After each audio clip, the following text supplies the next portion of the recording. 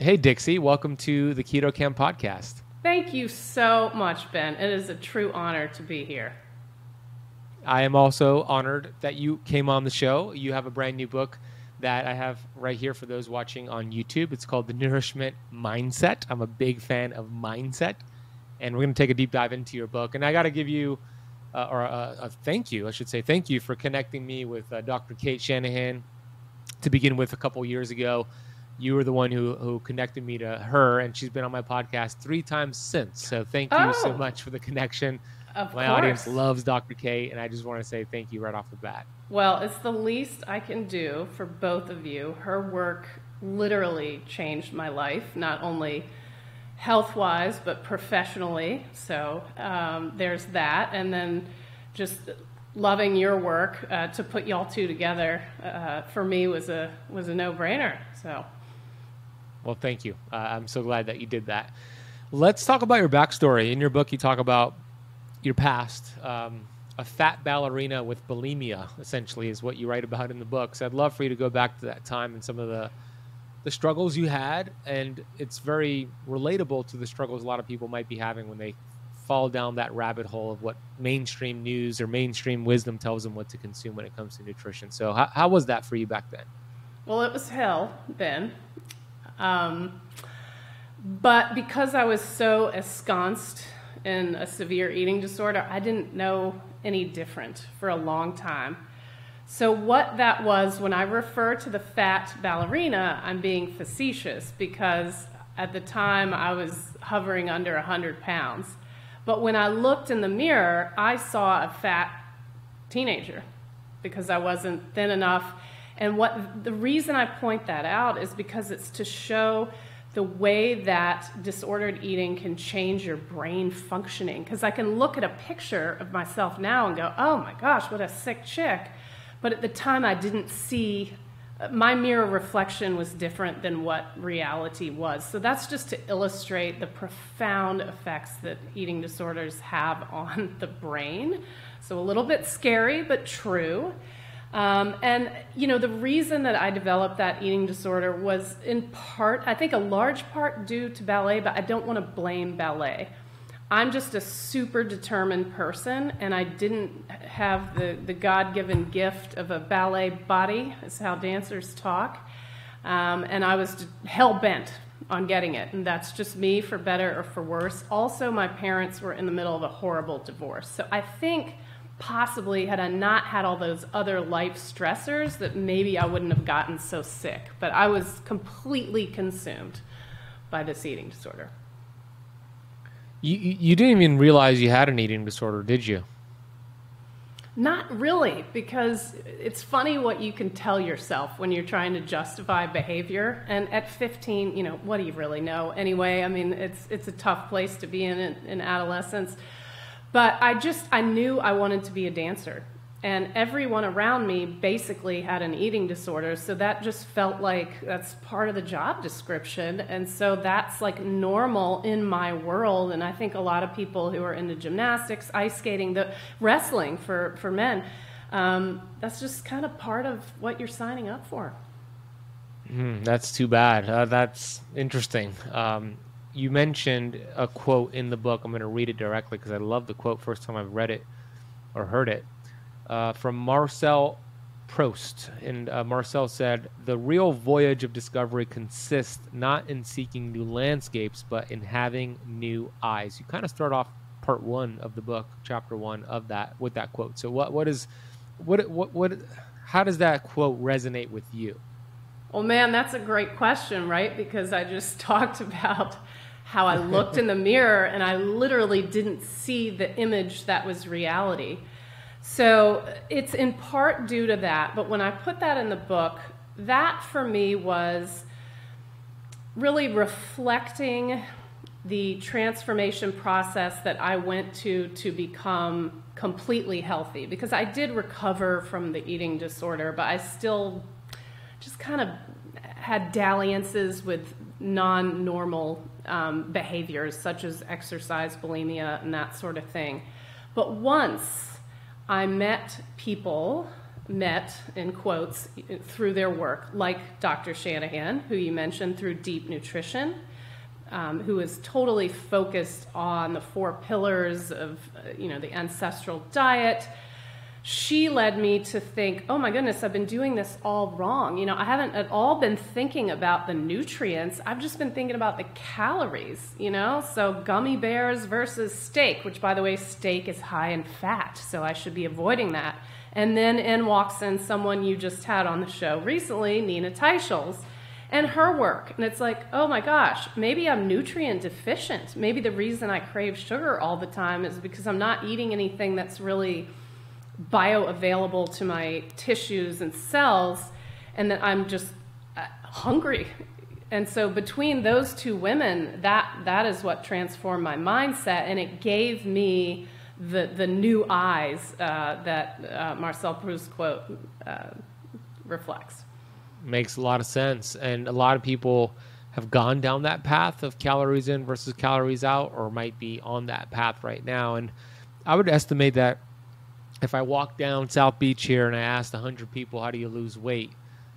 Mm, 80 out of 100, maybe higher, will say, oh, just eat less and move more. Um, right. Which kind of makes sense, you know, but it doesn't give you the full picture. That's like that's like asking somebody like a billionaire, how do you get rich? And he says, just spend less than you earn. You're kind of, yeah, thinking, you're kind of thinking like, yeah, that makes sense, but it's not giving me the solution. There's a lot of things missing in that answer. So let's talk about it. Like, why is it such a, a failed approach, and why does it disregard nutrition?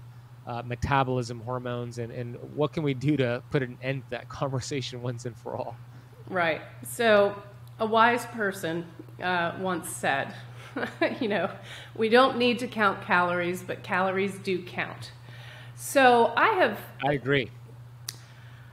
I used to say, you know, just throw all the calories out the window. And frankly, that worked for me for a long time. But as we age, our bodies change.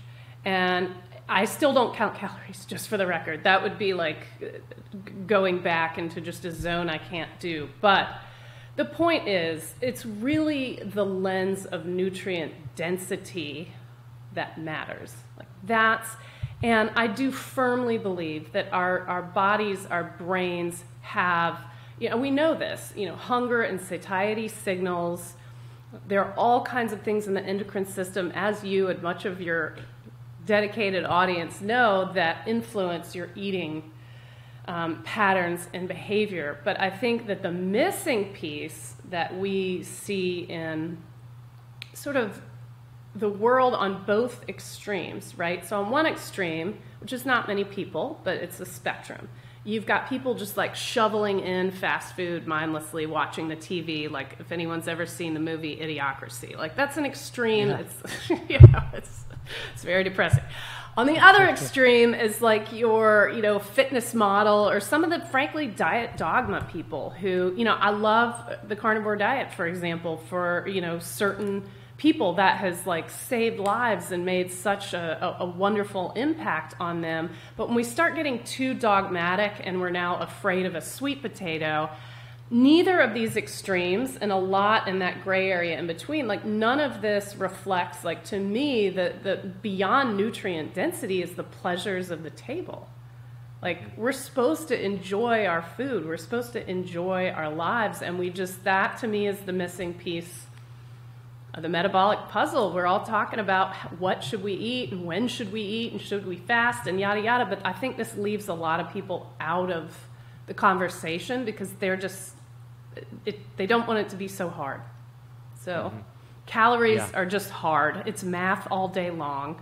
And mm-hmm. when you think more about nourishment and, and pleasure through nourishment, to me, you're focused on something that's more sustainable and pleasurable. Yeah, and I don't like math, so I don't want to do yeah, it every day. Please no. And I, I agree. You know, the calories matter. I, I, am not denying that. They're for sure calories matter, but are they important? No, they are very low on that uh, priority list.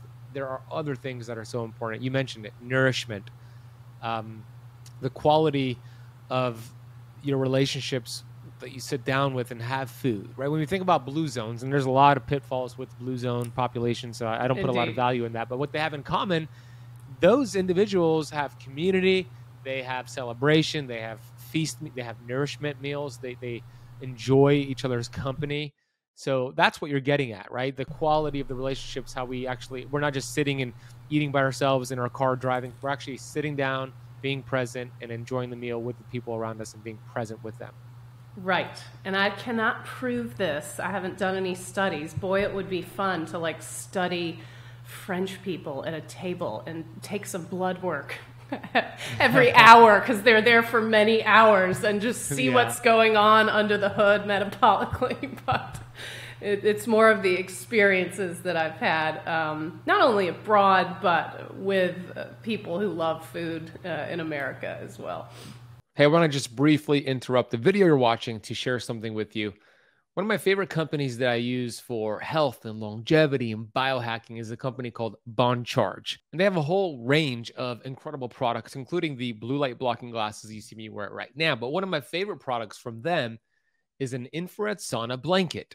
That's right. Uh, you don't have to spend a ton of money investing in a sauna or spending so much time driving to a facility with the sauna they actually created a sauna blanket that you could use in the comfort of your own home. And I use this all the time. Why would we want to even do a sauna? Well, there's a lot of research and a lot of studies showing the benefits of infrared sauna. The sauna blanket works by raising your heart rate to a workout or a training session. So you burn more calories while you're actually lying down and relaxing. You could burn up to 600 calories in one single session. Also, it's going to cause you to sweat. And one method of flushing out toxins from your body is through sweat. There's also one of my favorite benefits this endorphin release, endorphin rush you get from using a sauna blanket. And I, every time I get out of the sauna blanket, I feel like I just got a 60 minute massage. And uh, that's because of the endorphin benefit from it. So, how this works differently than a regular sauna is that it works by using infrared light, which heats the body directly rather than the air around you like a traditional sauna. This means you get the same benefit at a lower heat. So, it's easy to set up, it's super convenient. 30 to 40 minutes uh, will suffice in terms of the length of the sessions. And you do that two to three times a week, you're going to feel amazing. Add that to your keto fasting protocol and watch what it does for your results. You could do it while you watch TV. You could do it while you read a book. I do it while I listen to an audiobook. So if you want to learn more about the Bon Charge products, including the sauna blanket, head over to boncharge.com slash keto kamp. And if you use the coupon code keto kamp at checkout, you'll get 15% off your sauna blanket. And actually, any of their products are 15% off with that code. Bon Charge hooked you up. So head over to that domain or click the link down below and go get your Bon Charge products. All right, let's get back to today's video. That would be interesting, right? As as we see probably their cortisol drop throughout yes. the meal, like it's for the hours that they're there having their, their meals. And the you dopamine. were in the book, I think, yeah, dopamine, exactly. You were um you were in France, right? In the book, I remember reading about you living in France for some time, correct? So Yes, I had a transformative experience in college just studying abroad. And I will admit, I not only brought a scale, a body scale, on my study abroad adventure, I brought a set of eight pound weights. So back to that, like overly dedicated. and I'm not proud of that, but I share that just to show, again, that mirror that you're looking into and you're not getting back what is reality. Um, but that's the first place I noticed like, oh my gosh, these people have a completely different relationship with food. A, B, wow, I mean, how are they also possibly thin, you know? Paris bitches. so that was sort of the tip of the iceberg. And then through my prior career, I traveled a lot to France because I was in the wine industry. And so that's kind of the the heart of the wine industry. Uh, Italy would argue differently, um, and they can enjoy that argument. And then later, my family and I bought a share in a home in the south of France, so we're there yearly. And we spend a lot of time just like living there, not sightseeing or anything, just being around French people and their culture. Interesting. Okay, you mentioned exercise, and I know the book talks a lot about exercise. And I mean, you're you're you're a fitness coach too. Like you, you love. I exercise. am. I do. But I, I I know that you don't teach or do exercise for weight loss. You do it for other reasons. So explain why exercise is probably not the best idea if you're if you're just doing it for weight loss. Right. And that's what, like, you know, I love to pick on big food, big pharma, but I also pick on big exercise, which is funny, right? Because I've spent on and off my teen and adult life working for gyms. I'm, as you said, I'm a fitness instructor. I love exercise. In fact, in my life, I've loved it too much. I've been an exercise bulimic. But that didn't come from a love of exercise, that came from wanting to burn calories. And it still drives me insane when I walk into places where I teach and I hear an instructor before me talk about, look at all those calories we burned. And it's like, no! I have conversations like this every week with people. Exercise is a poor way to lose weight. I mean, frankly, when I used to teach triathlon or coach triathlon, I should say, I saw plenty of people gain weight.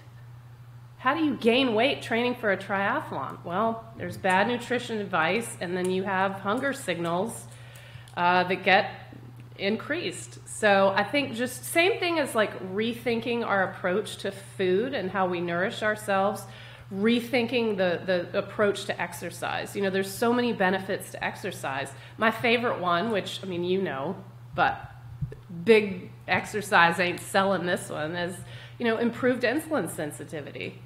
Yeah. That's awesome, you know, but I can't like hop on the scale and see that. That's under the hood. Got to get your blood work done, and it's not going to happen overnight. So, as a former 20 year marketer, I get why, the, why they're touting and marketing that burn calories, but exercise for me is more about insulin sensitivity, increased sleep, increased mood. There was, I'm sure you saw this, the study that recently came out that in the last two weeks talking about how exercise is better, um, been shown to be better than medication for certain mental health conditions. Yeah. You know, strength, balance, I mean, that's huge as we age. There's so many benefits, but just thinking I'm going to start going to the gym and lose weight, like you're going to be disappointed and then you're not going to exercise mm-hmm. because it quote yeah. didn't work. Yeah and and to your point there's a difference between losing fat and losing weight. You could be actually breaking down muscle if you're doing too much cardio or excessive exercise. And i too well you know i used to be a fitness coach. Not anymore. I used to be a personal trainer. I used to own a crossfit gym. And i remember being really diligent with the whole calories in versus calories out. I was probably exercise bulimic, like you referred to. I didn't realize it, but probably was. And it's a lie when somebody tells you you burn 500 calories from that CrossFit workout or that Orange Theory workout. No, you didn't. Uh, first of all, because if you just sat on your butt, you would have probably burned I don't know 350 calories. So you really burned 150. It, it's a Good lie. Good point. More math. yeah, exactly. More math, and we're probably getting away from like the true point here, but I just want to point out that it is a lie. Like your watch that says you burn 800 calories with that 10 mile run, it's not true. That's that's showing you what you would have burned with your basal metabolic rate sitting on the couch plus the additional calories burned. So it's really just a quarter of it. And I say all that because it's just a math distraction. The human body is not a math equation or a calculator or a bank account. It's a very complex, amazing chemistry lab and we need to stop treating it like a calculator and start treating it like a beautiful creation that it is. So I'm glad that you saw the light. I saw the light, and uh, you're calling True. out big exercise. I love that you're doing that. Well, and then hopefully that changes the relationship with exercise. I mean, I feel like we're both. I, am grateful for the fact that I actually enjoy it. I, am going to assume you do if you owned a gym, but you yeah. know, not everyone has that.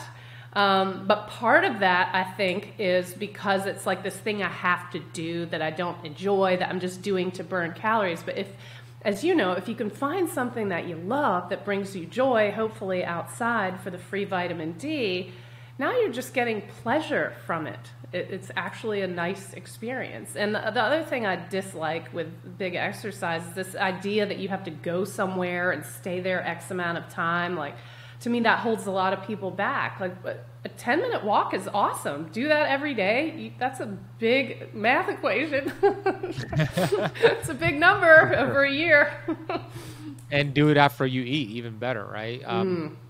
You, you're right about the the exercise part a lot of people are like they, they look at it like i'm going to go suffer just to burn those calories and that's not gonna that's gonna be very fleeting. It's not gonna last very long. But if you could you, if you could find we'll call it a hobby, something that you enjoy doing that also incorporates movement and exercise, like that is such a winning formula. For me, it's basketball. Every Sunday, sometimes even in between, like yesterday, I went to the park, but every Sunday for sure, I go play basketball. And yeah, I'm burning a ton of calories. I'm getting all these steps. I'm getting my heart rate up and I'm getting all these benefits. But I don't feel like, oh, I just exercised for an hour and I'm like exhausted or, or like, oh, I'm going to go exercise for an hour. To burn. I, I feel like this is fun.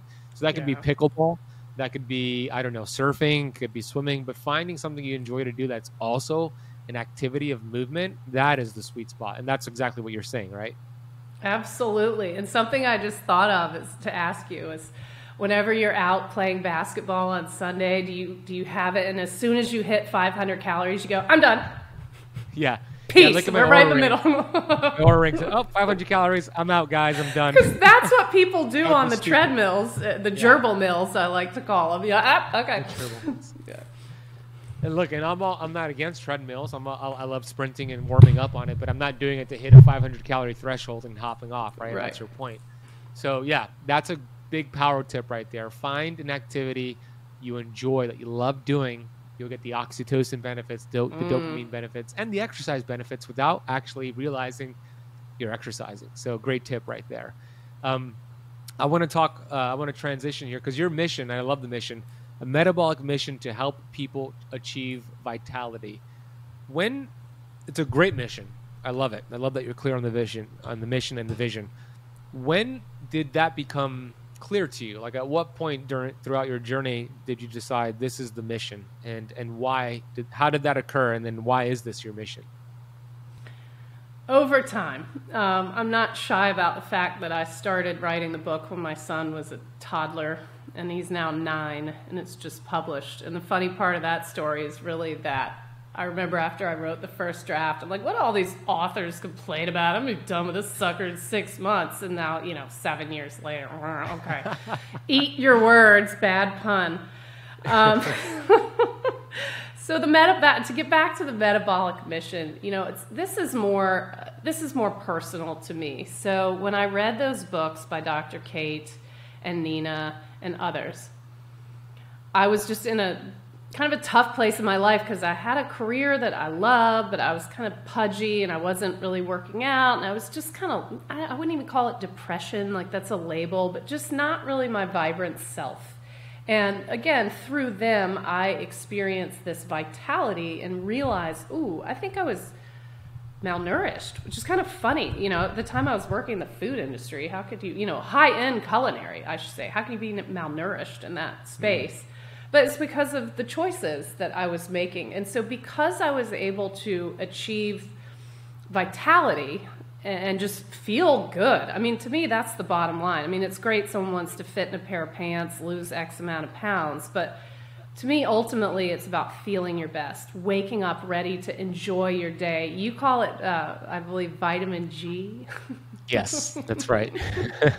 it's hard to have vitamin G when you're struggling metabolically because mm-hmm. you just don't feel good. And mm-hmm. so once I realized, like, oh, that's what it's about, like, I feel so much better, then I realized I've got to close the marketing agency that I've been pouring my heart and soul into because I, I, I must share this information with anyone who will listen. I want to help others. So that's why it's a metabolic mission because I know there are people out there that are struggling and they're, they're doing all the, in quotes, right things. And they, you know, the average person does something like 50 diets in their lifetime. I mean, that's brutal. That's a brutal way to live. And I just, it doesn't have to be that hard. That was my key takeaway. Like, we can achieve vitality, we can reverse chronic lifestyle conditions by focusing on, as you know, the real whole foods, but my little addition is the pleasures of the table. Like, I want it to be fun, just like we talked about with exercise, because then it is something that brings you joy, and so you want to do it. And I just, I haven't, um, all my life, it was not fun. And, even in working in the wine and culinary industry, I would not eat like the steak because of the fat content. Here I am dining with farmers and chefs and winemakers all over the world. Everyone around me is having a blast. And I'm literally counting the calories in my head as I'm sitting there pretending to pay attention to the conversation. Oh my gosh. So that's not fun. You know, that's that's not being present. I think being present is such a key part of enjoying life. And I just was never present because I was focused on other things. Yeah, and that in this day and age, it's becoming even more uh, challenging to be present. It reminds me of a quote from from Neville Goddard. He said this like in 1950 something. He said, "We are only po- uh, we are only uh, what did he say? We are only limited by weakness of attention and poverty of imagination." Right. So weakness Oof. of attention is that right there. It's like we are being distracted purposefully from advertisements, TV, social media um, junk, crap information, and it's creating weakness of attention, so lack of present, of being present, and being uh, fulfilled and being grateful, and then poverty of imagination is just the the stinking thinking that I call it, like the negative thought. So he believes that's the only thing we're limited by: weakness of, of attention and poverty of imagination. So you're essentially hitting upon both of that by saying to be more present. Yes. Yeah, to enjoy. Again, if you're counting calories or worried about how you're going to burn it off after you're not present. And that goes against the big exercise, the fitness influencers who uh, don't teach that. They're not teaching you to be present. They're not teaching you about metabolic health. They're teaching no. you, hey, if Skittles fits your macros, then go for it and have your Skittles. and then enjoy the glucose roller coaster ride. Yeah, right? it's like, but you're in a calorie deficit, uh, so you're winning. That's that's their mindset, which is, it's just so shallow. Nobody go, nobody goes from counting calories to, to focusing on metabolic health back to counting calories, right? I, I can safely no. say I've never heard that before. Um, people go from counting calories to metabolic health like us but we don't go back. Like once you see the light, it's like nobody goes the other direction. Because oh, I can't see the truth. Yeah, just it's like it's absurd to think about just going the other direction, right? There are things that I think need to be tweaked, and that's something that's been maybe a little discouraging to me because I never want to sit on like health coach hill and look down at the masses. Of course, of course yeah. you were talking with, I believe it's, it's Dr. Annie, is it Horman recently? Yeah, Dr. Amy Horniman. Yeah. Horniman, thank you um, who I admire as well. And as I have moved into the middle age space um, and been, frankly, I mean, I, I, I, had this hypothesis before, but after listening to y'all, like, just the, I need, my key takeaway from that recent one, which was terrific, was keto flex. I need, I, I will be buying your book because I've been, mm, I hate, I mean, I hate to admit it, but perhaps a little too dogmatic the last year about being in nutritional ketosis. And frankly, my thyroid has suffered. And I'll just throw this out there because I'm a pretty open book. Who knew? I just got diagnosed with low T. I'm like, am I a dude? Why do I have low T? well, that's a it thing. Happens. So, yeah. you know, what worked for me in my mid 30s and early 40s, I, have got to change it up a bit. So I'm, I'm open to to change, and that's where I think we have to just be open and shy away from diet dogma. Yeah, uh, amen. I love that about you. Thank you for being authentic and transparent there, and that's what it's about. It's about health over dogma, and I do think, based off of what you shared, I do think having a keto flex day, whether that's like one day per per week, where you have higher healthy carbs, limit your fasting, and just feast it up, high protein, high carbs. Uh, it'll make some hormonal conversions that could help with the thyroid, help with the, potentially the testosterone as well. So I'm curious if you do do that and you see an improvement, you let me know because I would be curious. Oh, to hear your I will. There. I will. I'm gonna have to embrace that sweet potato. oh. I never really thought a sweet potato was a problem, uh, but it's more just the mindset of okay, what's worked for a long time isn't working anymore. So we got to change it up. We got to experiment and just be open to new approaches, and, and that's okay. Yeah, and you know, just to piggyback, you know, to share with like transparency, one of my challenges over the years has been putting on muscle. Mm. It's been something, and when I was doing my CrossFit days, I was putting on muscle, but I was overtraining. So yeah, my hormones were, were tanking. So that's not the way I want to put on muscle. I want to put on the right way and then the last two years has been a delicate balance between like being consistent in the gym and, and strength training and some lower back issues I, have been having over the last couple years and then also like fine tuning the protein intake and all that. So that has been my challenge the last couple of years. But I'm happy to report that the last month or so, I've been seeing a new chiropractor, and she's been doing some more like trigger point release on my lower back, and it's been feeling better. So I've been getting into a consistent routine, and then I've been upping the protein and the creatine. So my experiment is to keep doing that and see what it does for the muscle mass. Because as you both you know, and I know that we both know that muscle mass is such an important organ to develop, and we want to have healthy amounts of it. I want to take a minute to share something with you as we take a break from the video you're watching. You know, one of the most common things I see to why people don't have enough energy levels, they have trouble building lean muscle mass, they have brain fog, fatigue, and they don't feel good is a, because of a deficiency in a hormone called testosterone. Now, testosterone is a very important hormone to have in a healthy amount for both men and for women. So, how do you reclaim your vitality? How do you reclaim this very important fat burning and muscle building hormone? Well, you can do it with a powerful supplement called Upgraded T. It has been my go to for naturally elevating testosterone levels. Upgraded T is from Upgraded Formulas, and it contains the highest quality of ingredients that have been proven scientifically to increase testosterone production. Now, as I mentioned, if you're a woman watching this, this is very important for you just as a man watching this right now. Upgraded T is a natural and safe way to boost testosterone levels. When you boost testosterone levels, it's going to increase your sex drive, vitality. It could help replace fatigue with all day energy. It'll help you lose that stubborn belly fat. Uh, testosterone is required for fat burning, so it'll help you with the last five to 10 pounds that you're looking to lose. It helps you be in a better mood, helps with your memory and focus. So here's the three step approach. Step one, Take two capsules of Upgraded T with water every morning. It does not break your fast. You can have it with food or without food. Step number two, notice your energy levels and dominate your day with more confidence and more vitality. Step number three, wake up the next day having better sleep and just keep doing what you're doing. As simple as that. So, if you want to get your hands on upgraded formulas, Upgraded T, and any of their awesome products like their upgraded magnesium and their hair mineral analysis testing kit, head over to upgradedformulas.com. And if you use the coupon code ketosis at checkout, they're going to give you 15% off your entire order. That is upgradedformulas.com. Ketosis at checkout. We're going to drop that link down below. And let's get back to today's video. Yes, because when we diet, we if we have that mentality, we often will lose muscle mass, and then it just makes the whole thing harder again and again. By the way, when you said, what did you say, trigger point? Is that a code word for like her digging it, him or her digging into you and you like biting your hand?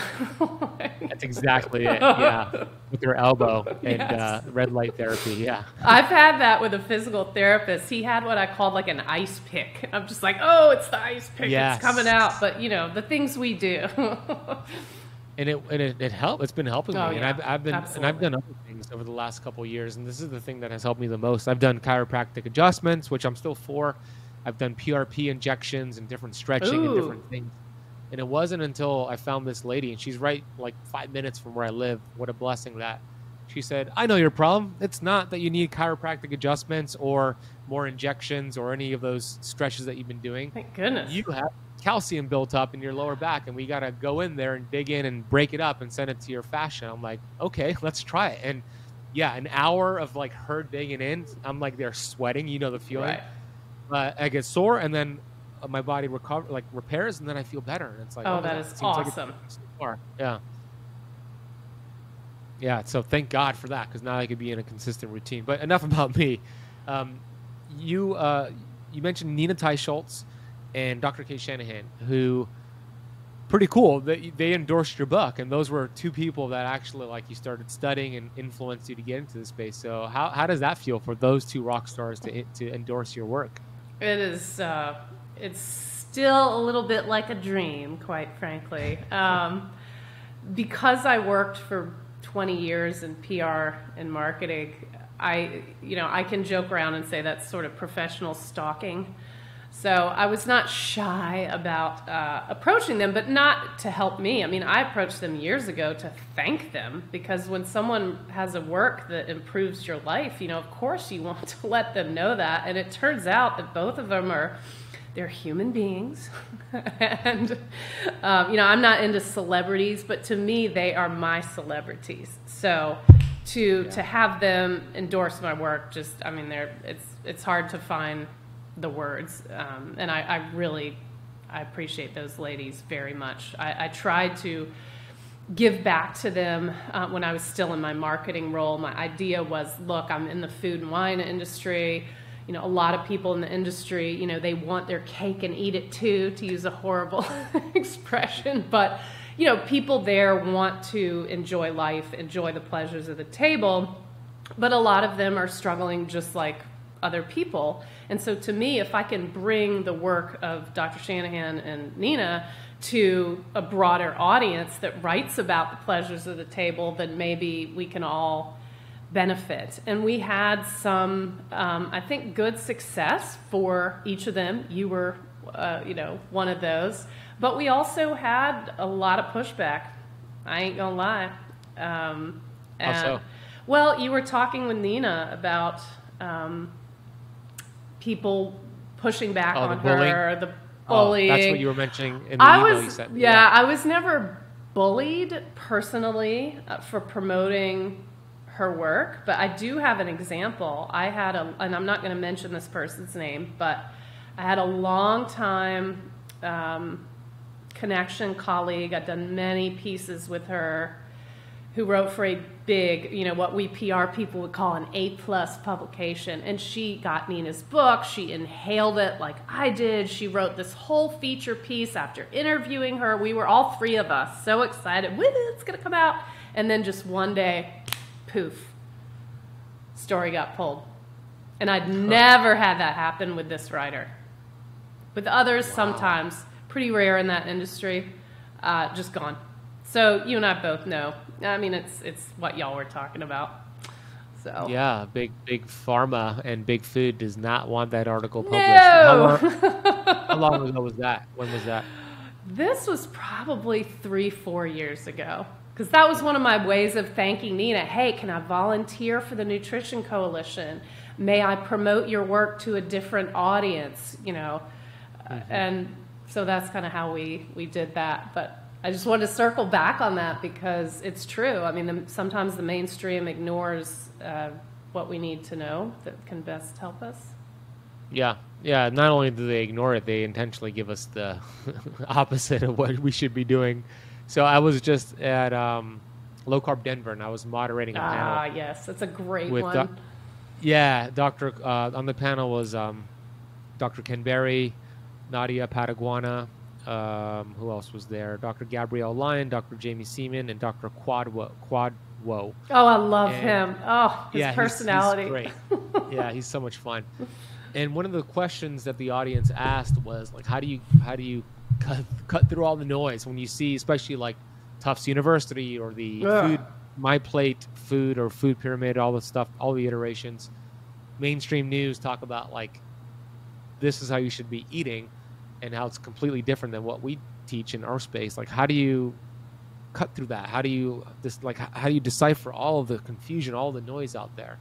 And what I said, and it got a big laugh from the audience. I said, "Well, I think it's very valuable to follow what the government is teaching when it comes to nutrition. Like I pay close attention to it. I tell my students to pay pay close attention to it because I want to know what they're promoting, and then once I know, I'm going to do the complete opposite, and I know it's going to be healthy, right?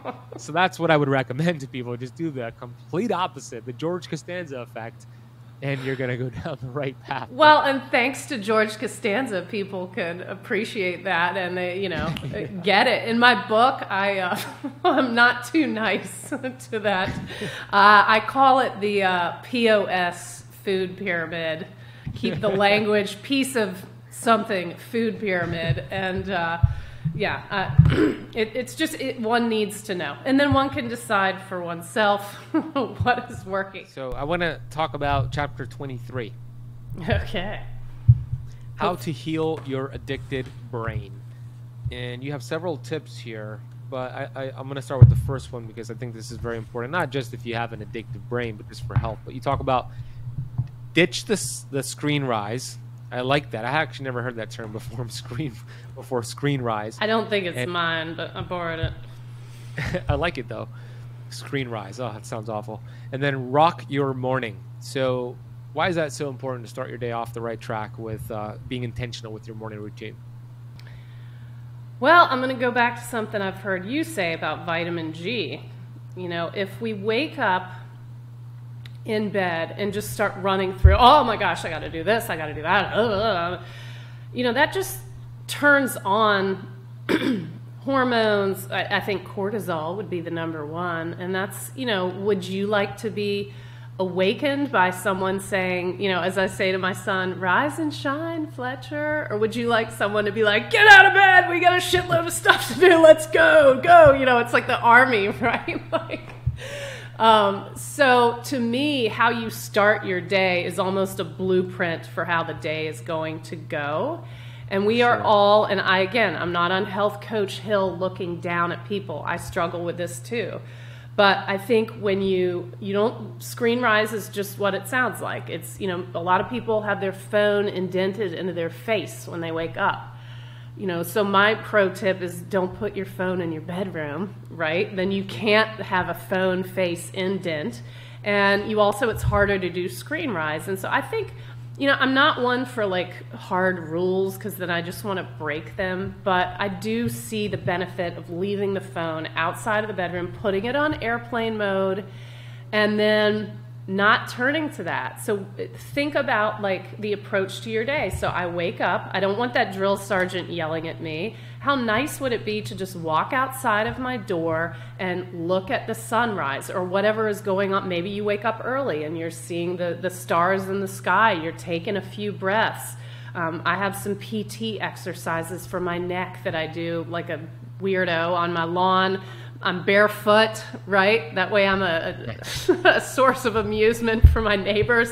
But why am I doing that? I'm grounding my feet in nature. I'm just taking a few minutes before the onslaught of the day comes to also just, again, vitamin G, be grateful. I woke up today. You know, I, am grateful for that. This is going to be, you know, I'm going to intentionally live this day. And I'm going to also, a big one for me is being gracious um, to, to remind myself to seek the best in other people.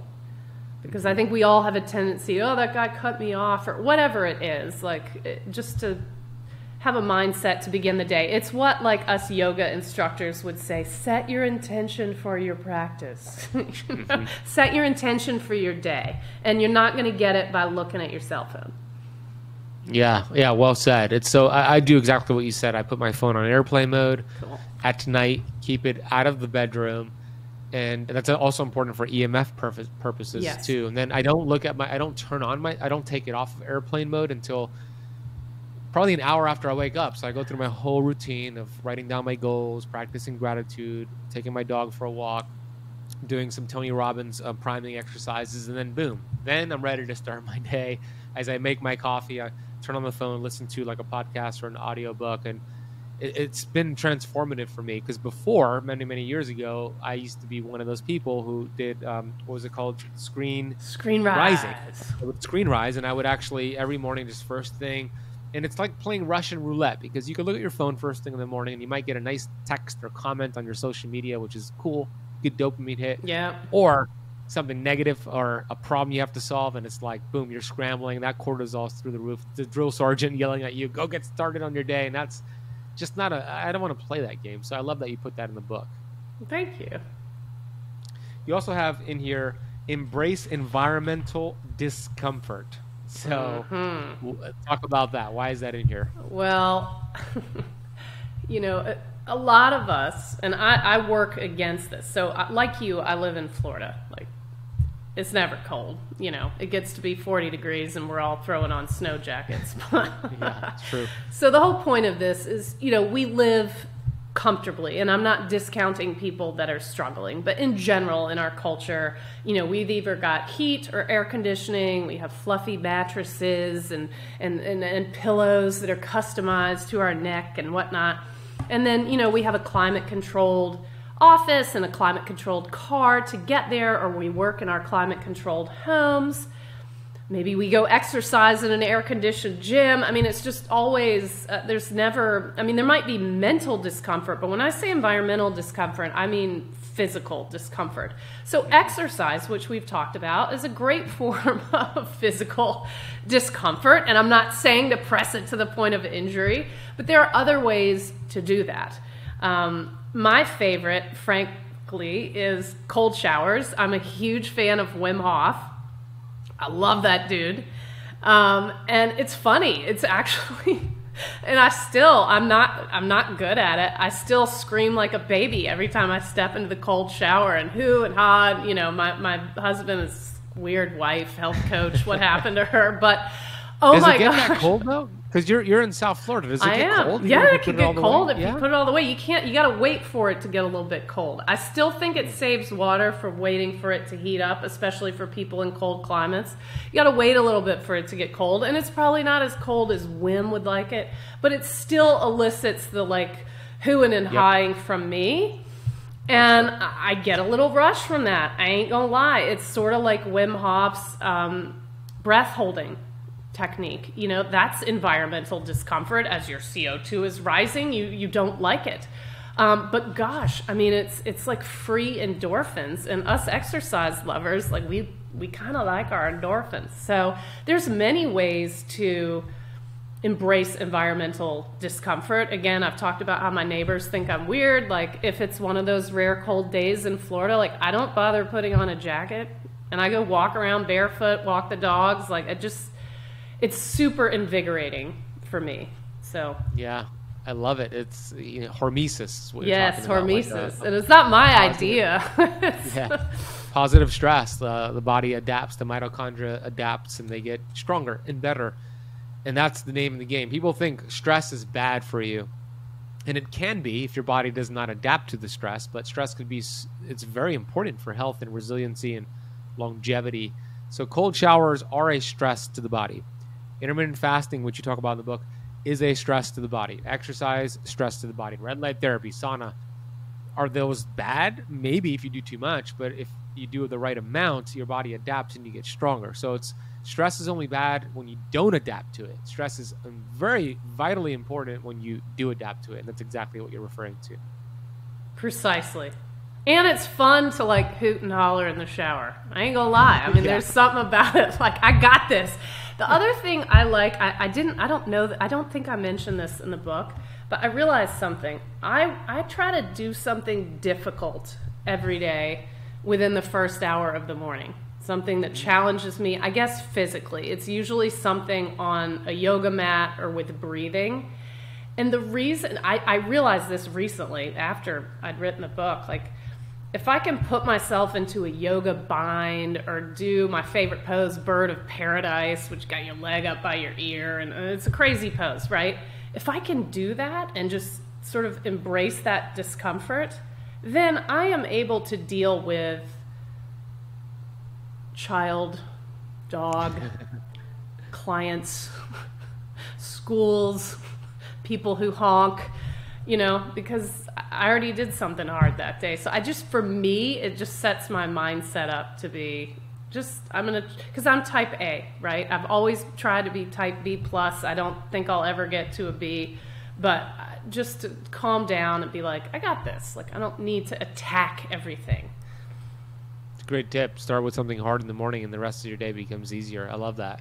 Thank you. What is your with the book, uh, the nourishment mindset? What was your fav- What is your favorite part personally? Your favorite part about your book? Oh, great question.